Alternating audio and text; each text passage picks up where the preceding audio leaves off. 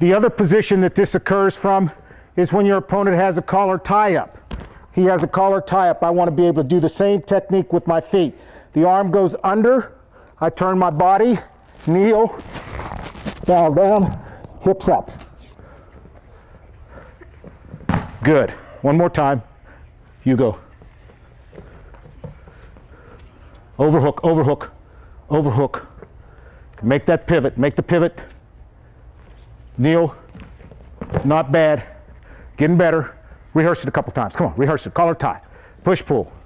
Go, go.